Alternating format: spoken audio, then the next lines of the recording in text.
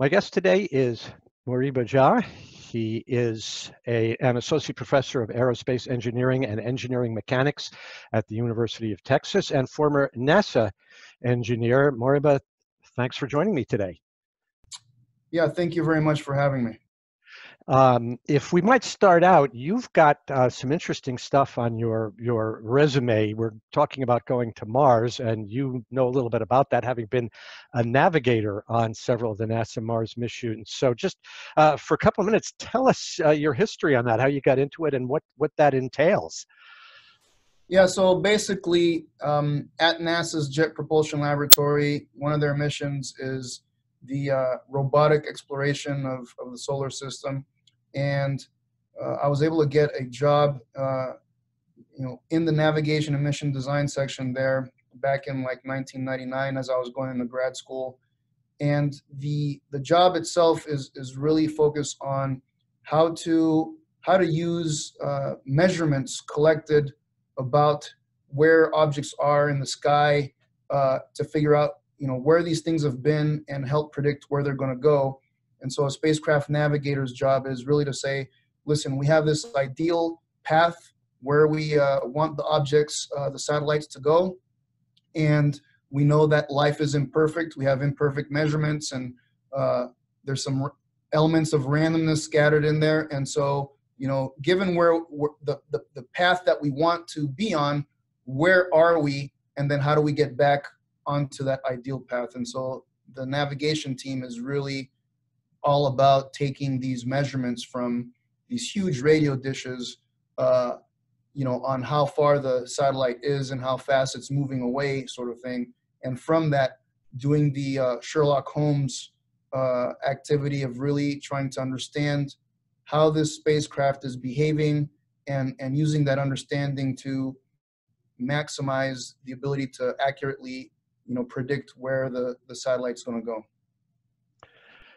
Now, we're in a bit, I'd like to get to talk about going to Mars with uh, human beings, but clearly there's a, a, good bit more that NASA's going to and others are going to be doing before that happens. Uh, and I'm curious uh, if you've been uh, following and see what's on the horizon in terms of unmanned uh, flights in the next few years. I know there's been an announcement of a mission to bring back a, a, a sample from Mars uh, scheduled for the 2030s by, uh, of course, uh, Elon Musk has talked about it being there already with people by then. But what more can we learn from unmanned messages besides pure science in terms of preparing to send send people to Mars? Is there is there more to it that we have to learn, you know, other than the engineering challenges?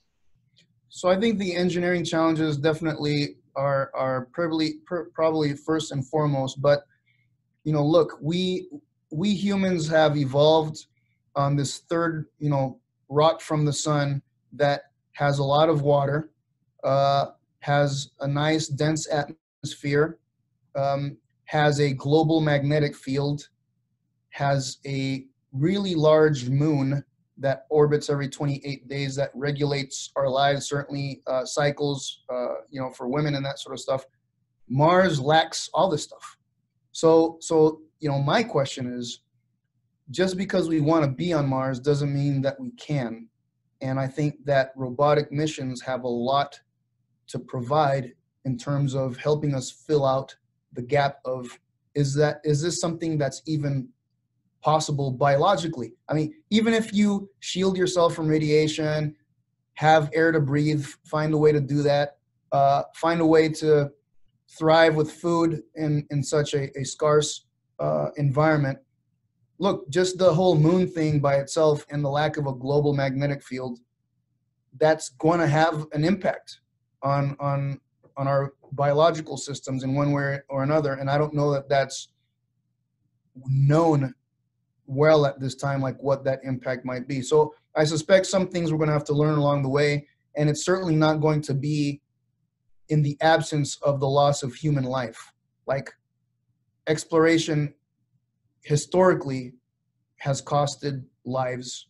And to think that we could find ways to settle human beings on mars in the absence of that i think is uh, naive at best.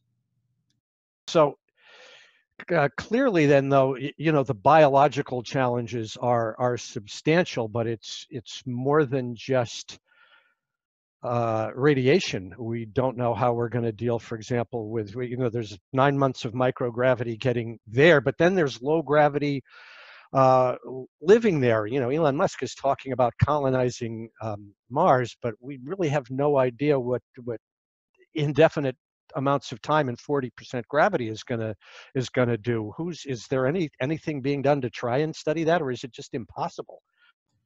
I think that uh, to some extent experiments done on the space station uh, might be crafted to give us some insight to, on that but uh, at the end of the day you know without actually being there and exposing people to that level of i'm going to call them resistant forces, normal forces. Uh, yeah, it, part of it is you have to learn it as as you're there and as you experience some of these things. But we'd certainly like to minimize. We'd like to minimize the amount of on-the-job training uh, as possible. Well, and of course, there's you know you know there are attempts to um, to simulate uh, the environment of being Mars. Unfortunately, they really can't simulate the, the radiation exposure and the um, uh, and uh, the uh, you know low gravity but for example the isolation and, and the like but I, I, just recently saw that there was there there's a there have been uh, experiments to do that on top of a volcano in Hawaii, and one of the recent uh, groups only lasted four days. That doesn't uh, portend pretty well. Are you are you aware of any such experiments that have been a little more successful? Because I know just the, the human isolation is going to be a problem. Well, so you know, part of these experiments, I, it's a little, uh, you know, tongue in cheek sort of thing uh, with me because I look at, you know, the, the traditional ecological knowledge, uh, knowledge that comes from certain indigenous people. And, you know, pe- people are trying to set up these isolated uh, kind of experiments. It's like, look, just go talk to the Inuit in the Arctic. You know, it's not like, you know, it's not like life has been easy for them. They've been very isolated. They've been uh, uh, thriving in environments with huge scarcity of resources and that sort of stuff. I don't know, go talk to you know the Aborigines or go talk to other indigenous people that have uh, been very isolated and had to thrive in in very scarce uh, resource environments. I don't see I don't see where uh, organizations that are scientific and technical are reaching out enough to indigenous people and respecting the fact that even though they don't have three letters behind their names, there's a lot that they've learned over millennia. You know, we don't have to reinvent the wheel on this. That is a, an interesting viewpoint on that. Um, now, how about you know, just in terms of getting getting people to Mars? Um, I've always felt that, and of course, we've seen that Elon Musk is over optimistic on on many of the things that he has gone after. It's not surprising, and um, that, that he might be over optimistic on that, but he has made some amazing progress uh, uh, uh, with some of the SpaceX uh, technology. But in the final analysis, uh, the, the biggest factor may be cost. I mean, is it realistic for, for him or for NASA to get to, to Mars by the 2030s with human beings? So I, I see everything that Elon does through the lens of this uh, kind of mantra that he has of you know humanity needs to be a multi-planet species. So even his starlink satellites you know what he's invested there uh, in terms of like global internet you know how he looks to ai and automation for a lot of uh, the technologies that you know uh, he tries to develop to me it's almost like uh, i see elon's activities somewhat akin to Legos. It's like uh, you know you can you can build some pretty interesting things with Legos or very simple things, but at the end of the day, th- these are fundamental building blocks that snap in a certain way, and it's up to the uh, uh, you know the artiste to to figure out how these things are are connected. So to me, all of his technologies are part of this Lego set, this you know this the astronautical Lego set, and what whatever people think he's doing to do stuff here on Earth, uh, they should be rest assured that it's all really underlying this idea of uh, having huma- humanity uh, experience life on other celestial spheres. So. Well, you mentioned something of Elon's. I'll digress a little bit from Mars because I know it's something else you're concerned of, and that's his Starlink system. Because I know that you're very much concerned about the proliferation of space junk and uh, have been uh, sort of leading a bit of a campaign to do something about that. So, so you know, you use a phrase, uh, tragedy of the commons, that's popular with futurists and economists as well. So uh, tell us a little bit about your, your concerns in that area. Yeah, so we have this growing population of uh, so-called resident space objects. Right now, the largest public catalog or database of these things is maintained by uh, U.S. Space Command. Now it was U.S. Stratcom. Now, uh, recently U.S. Space Command. And let's say that they track around 26,000 objects, size of a softball, all the way to the space station. Um, and you know, given this 26,000, currently maybe 3,000 work, everything else is garbage. Um, we don't launch things in random orbits. We're very purposeful uh, with where we put objects, try to take advantage of, of nature as much as possible. So that means that we have highways in space, very specific ones. And as opposed to highways on Earth where uh, you have cleaning crews that, that, that are able to remove rubbish from the road and stuff when there's accidents. When accidents happen on these highways uh, in space, they, they keep on going and, and, and they stay in, in, in these highways, but they can cross lanes uh, with, with some level of randomness. And between, you know, SpaceX, OneWeb, um, and, and, you know, Amazon now with, with the Kuiper project, uh, certainly, you know, SpaceX wants to launch the most of these objects but we're talking about almost doubling doubling the catalog of currently tracked objects in the next five to 10 years. So the other thing too is that we don't fully understand the effects and impacts of the space environment on how objects behave. Uh, we don't track things uh, so precisely that we can predict where they're going to be like two weeks from now. So we have a problem with really with predictability. So I tell my students if you want to know something, you have to measure it. And if you want to understand something, you have to predict it. And we don't share all the measurements. That means so that means that our knowledge can't be as good as, as it could be. And certainly because we have an inability to predict very accurately over long periods of time, that also says something about our lack of understanding. And you know, Elon likes to automate stuff. He's already automated his Starlinks. He's launching 60 of these things every few weeks. Here's one thing that I want to add. In all of my scientific experience so far, I've seen that Mother Nature likes to seek states of equilibrium. Do we know what the state of equilibrium is for these orbital highways? Uh, I would say that putting 60 things into pumping those into the population every few weeks doesn't even give us enough time to know what state of normalcy and equilibrium actually is.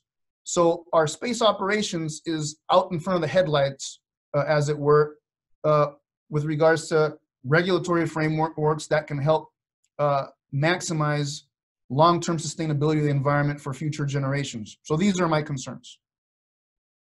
And is there any solution to cleaning up that junk? Because obviously it's a hazard to anything that's in orbit up there. Or are we just kind of stuck with it? Well, so we're mostly stuck with what's currently there. Uh, I think thinking about cleaning up the current population, uh, you know, comprehensively, I think that that's ludicrous. Like, there's no way we get there. So we have to, to some extent, we have to know how to live with the current population. Um, we can behave in ways that don't promulgate creating a whole lot more of the debris. So we can do that. So debris mitigation, uh, if everybody kind of adhered to some general tenets of uh, how to mitigate debris, I think that would be very helpful. But then the removal part, the remediation, as they call it in the community, there are definitely people looking at that. I know the European Space Agency wants to retrieve this Vespa, uh, uh, uh you know, large, you know, piece of debris in like 2025 with with ClearSpace. So those are good things, but you know, if you wanted to make a sizable dent in the current population, you'd have to retrieve many of these things every year. And, and we're talking about retrieving one of these things in 2025 because it is expensive to do. So I think debris mit- mitigation, try, you know, do everything possible to not create more of it.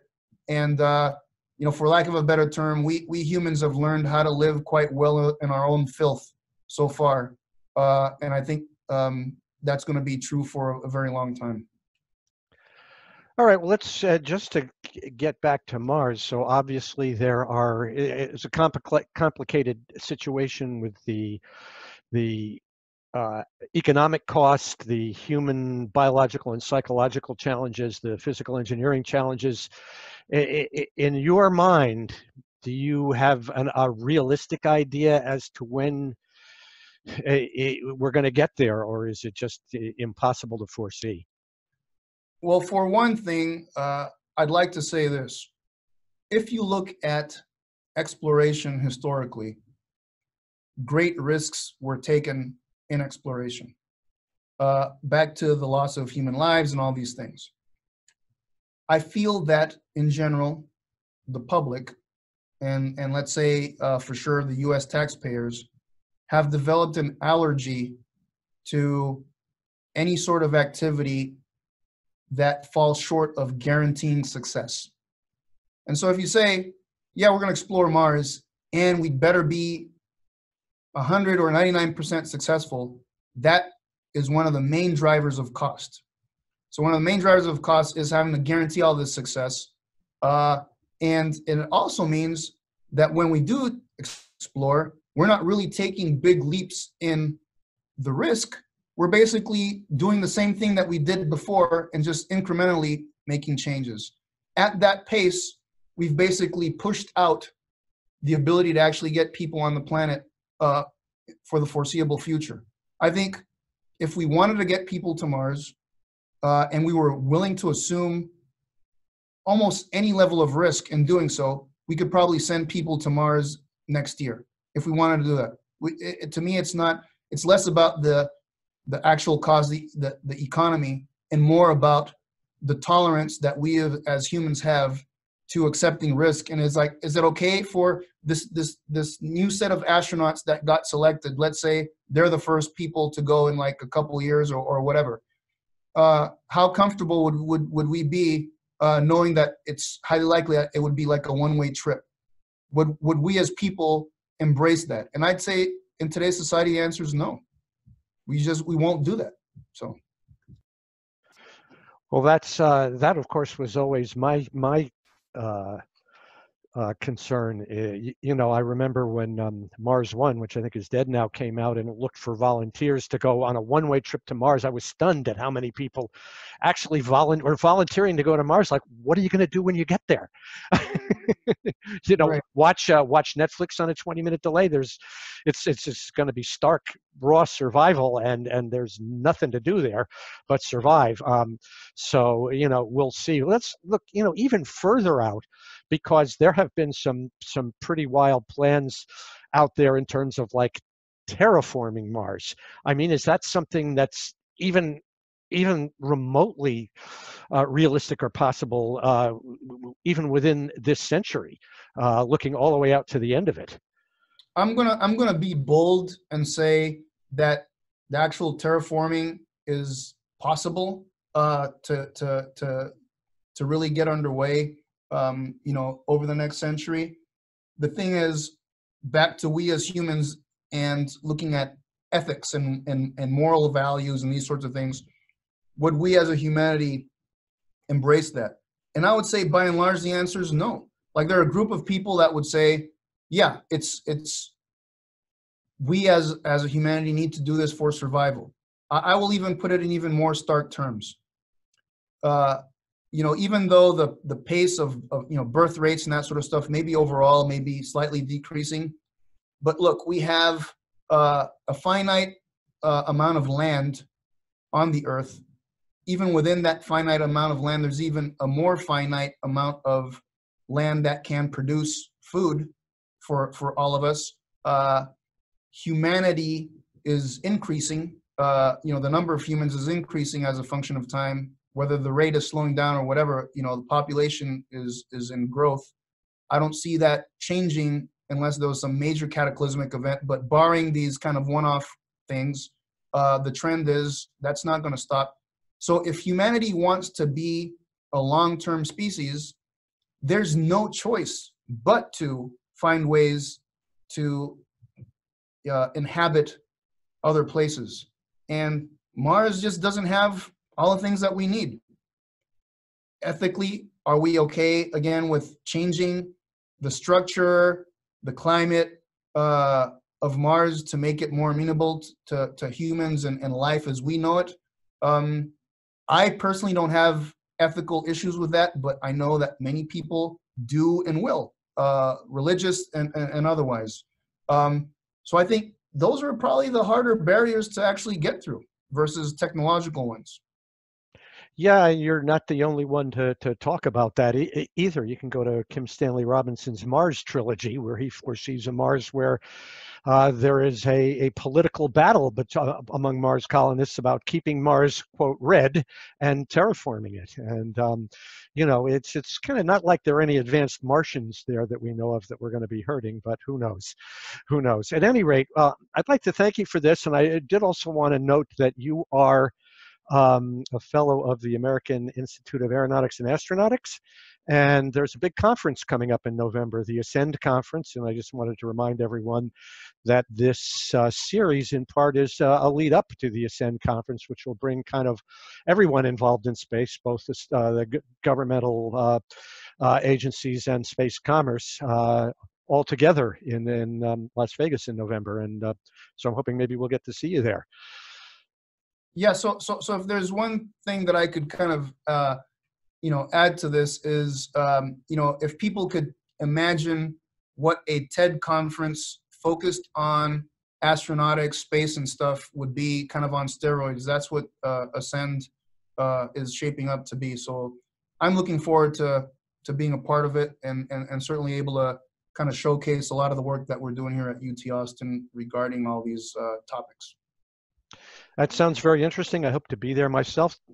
Um, um, Moriba, but thank you so much for joining me. Best of luck and uh, look forward to maybe uh, seeing you at Ascend in November. All right. Likewise, my brother. Thank you very much.